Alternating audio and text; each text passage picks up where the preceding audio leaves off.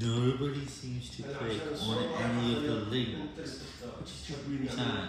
I changed them several hours just to reflect my views, and it turns out that none of those got any clicks. I checked them several times, and there was nothing.